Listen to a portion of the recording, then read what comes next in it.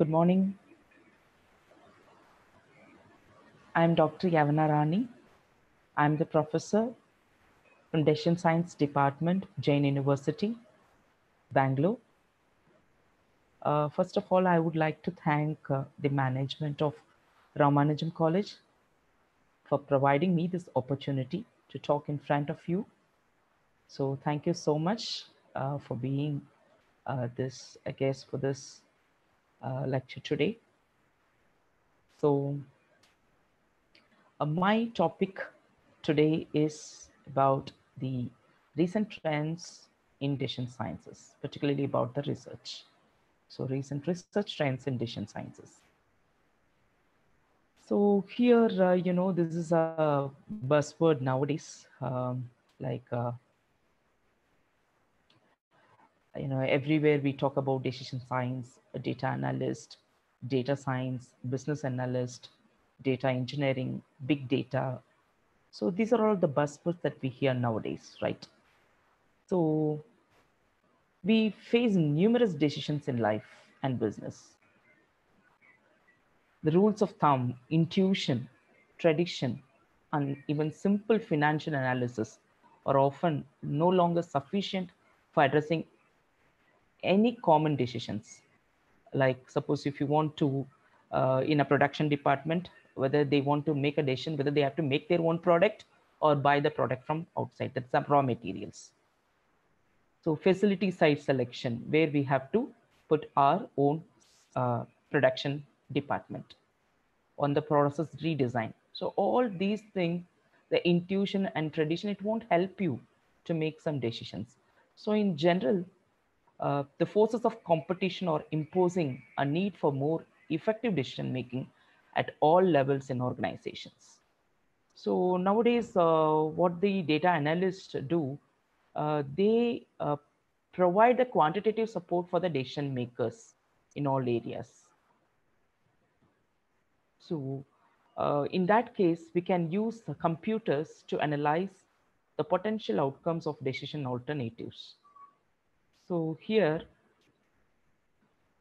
you know that the decision analyst and the decision scientist, they work together to come out with an effective decision. So here the decision analyst provide the quantitative support for the decision makers in all the areas, like including the engineers, analyst and planning officers, any public agencies, uh, project management consultants, manufacturing process planners, and financial and economic analysts, the experts supporting the um, technological diagnosis, and so on and on.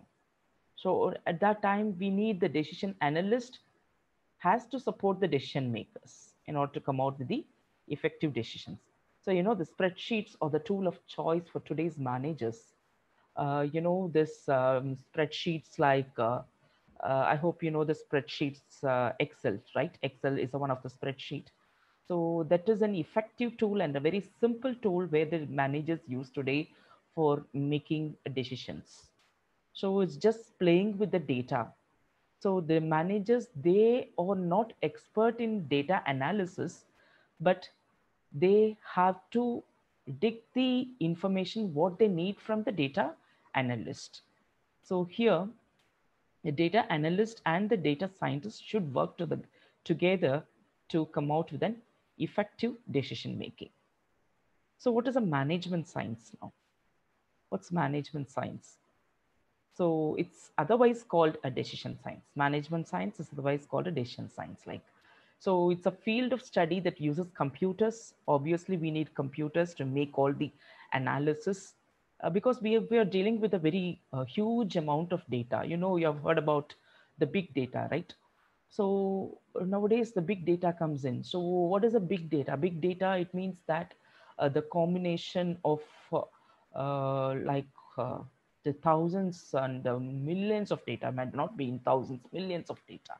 So in order to analyze the data, we need definitely the computers and obviously the statistics that plays a major role and mathematics to solve the business problems.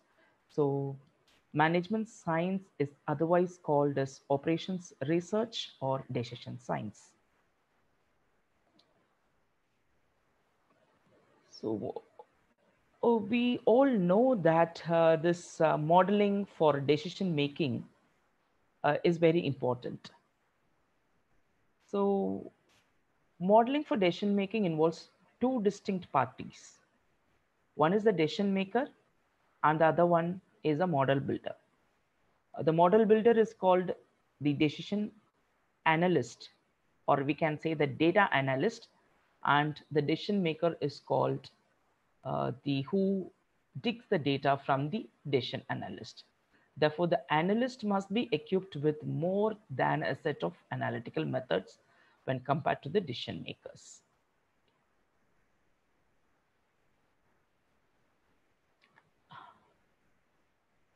Next slide. So what are the companies is using the decision science? There are a lot of companies uh, that use decision science. Uh, you know that uh, even the US companies, uh, some five years uh, before, they were not ready to use the data. Simply the um, uh, top management, what they do is, or the top executive of an, any company, what they do is based on their intuition or based on their experience, they make decisions. And that was not an effective method to come out or to uh, make any transformation nowadays. So what they did is they rely on data.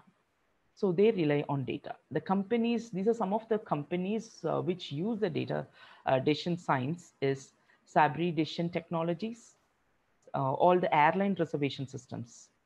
They use uh, this decision science, or we say that uh, data science, Signet Bank, GE Capital, uh, Providian, Capital One, credit card and financial management, freight transportation, Ernst & Young, Ernst Young, McKinsey, all are research agencies, Accenture consultants.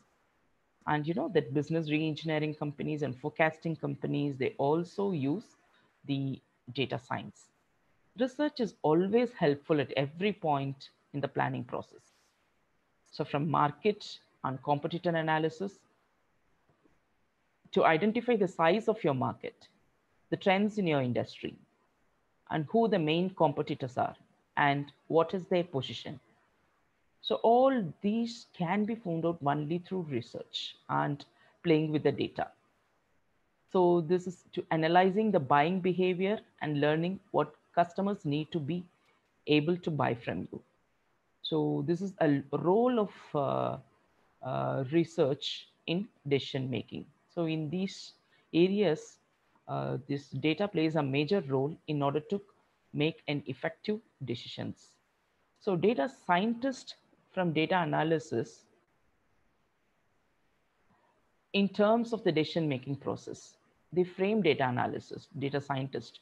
They're looking at the various ways of analyzing data, such as uh, it relates to a specific business question posed by the stakeholders.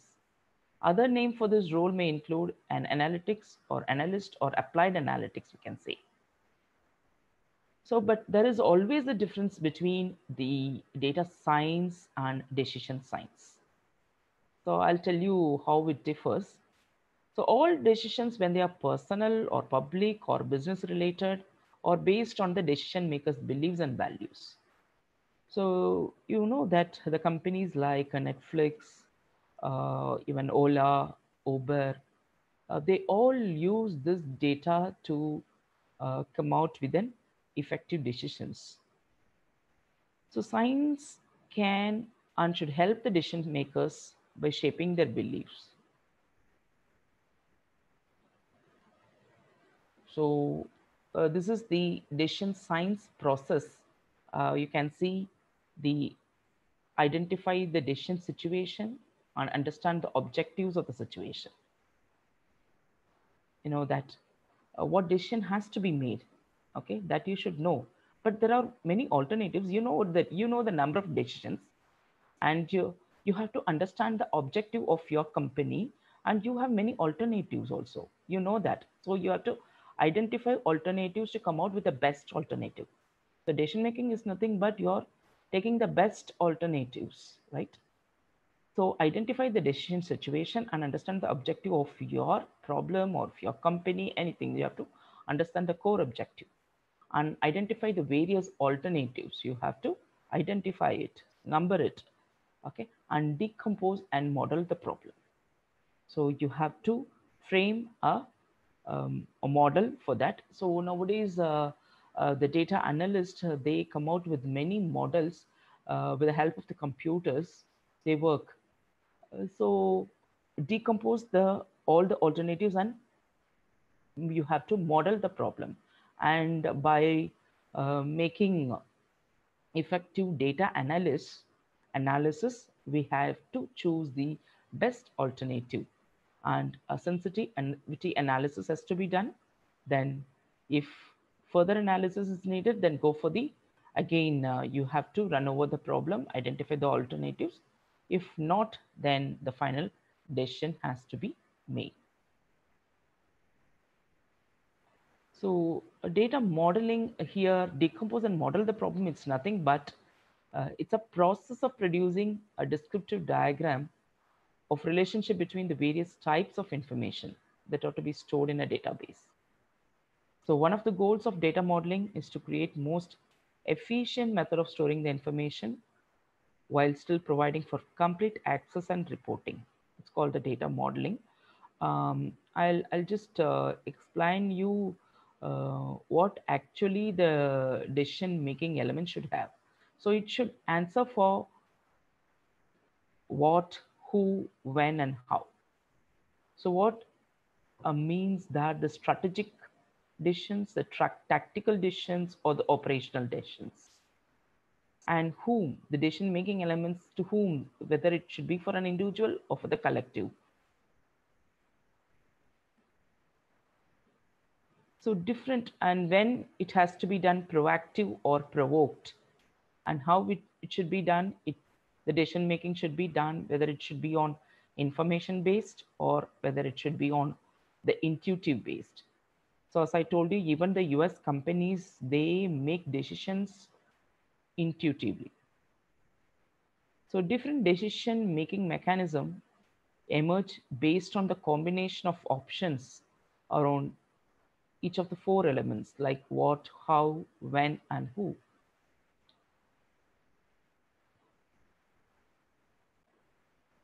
So you can see this uh, data science is used extensively in all the industries. You can see in the banking industry, loan portfolio optimization. So they also see, uh, suppose uh, if you want to find a fraudulent um, transaction, and if you want to uh, decide upon whether the loan can be given to a particular individual. So they use this data science. They use the data to uh, find out whether the loan can be provided to a particular individual or not. Okay, so credit card management, manufacturing sector, quality control. A quality control, they use the Pareto chart analysis. Pareto chart, it's 80-20 rule that is you mainly used for that. This is one of the decision science tool, decision making uh, tool. It is so Pareto chart. Okay, production scheduling. So OR comes here, operations research.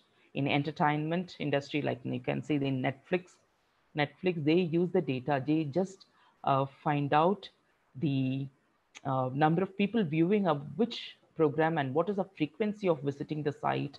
Everything will be uh, recorded in the cloud and based on the data they just make an analysis and they make uh, which is the most um, uh, likely uh, show in the um, netflix. And demand forecasting crowd control queuing and crowd control you know uh, in the uh, railway reservation system queuing system queuing how the you know that what is the process uh, happens when we book the ticket.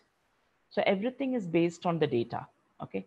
Airline and travel industry ticket reservations i talked about the ticket reservations in the um, uh, railways airplane maintenance marketing market research uh, in some consulting firms also they need a data analyst okay they get the ideas from the data analyst to make the decisions consumer preferences consumer preferences. Uh, if you if you uh, you know if you take the Flipkart or uh, the Amazon, uh, all the data. So what is a, a, a preference by from the consumers? What is the preference?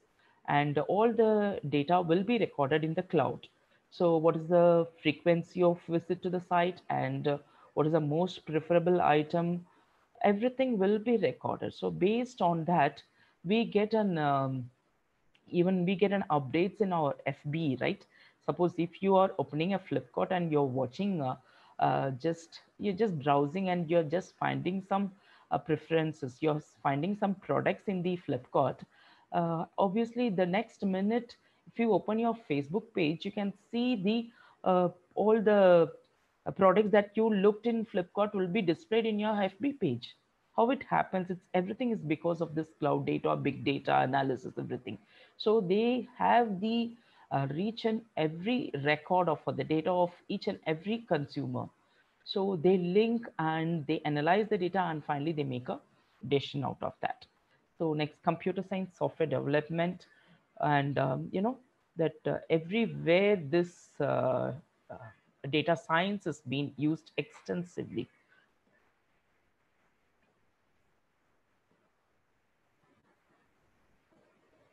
So now we'll see what is a difference uh, between the data science versus decision science. As I told you that data science here, we turn the data into a data products. That's all. In data science, the data science, uh, they should be, the data science uh, experts should be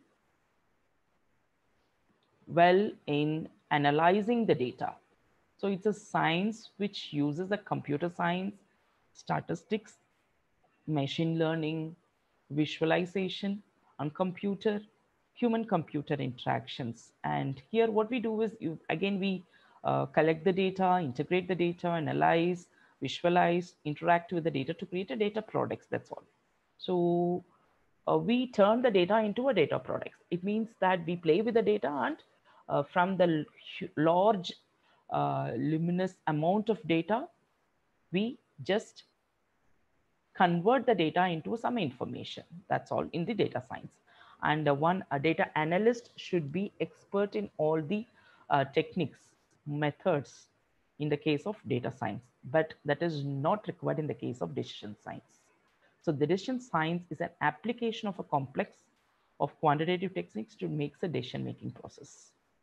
So its purpose is to apply the data-driven insights in combination with elements of cognitive science to policy planning and development. As I told you, from the data products, you have to dig out the uh, related information or uh, the needed information to make a, uh, policies and decisions. So that's the difference between the uh, data science and the decision science here.